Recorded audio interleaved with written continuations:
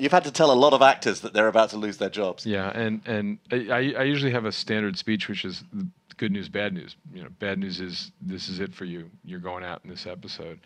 Good news is we wrote you a really good death scene. Oh, Michael Jordan is a great example of that. Ended up being fantastic in Friday Night Lights. Got to show his chops Right. on the wire, and he's ended up having an amazing Well, career. the best the best comment from any actor was uh, Larry Gilliard, uh, who played D'Angelo, and and he said, you know, this is a character who in his mid twenties in the story is strangled to death after coming to the re- a moral realization about who he is and what he what he's, you know, the life that he needs to lead and where how he he, he hasn't led that life, and he's he's strangled to death in prison.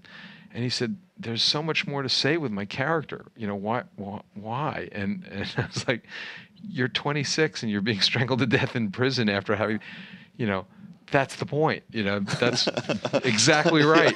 True. You know, It's, it's always the Yeah. moral realizations that kill you. It was Yeah. like it was like yeah, it's like Larry, use that man. You- Yeah. Like for, for for for the for the two hours left you have in the show, Yeah. use that. But it was that moment of like he was he was arguing for more life. He was literally arguing for a second yeah. chance. Yeah, be man. present in that moment. I, I yeah. always argue with Davo for more life. Yeah, without a um, doubt.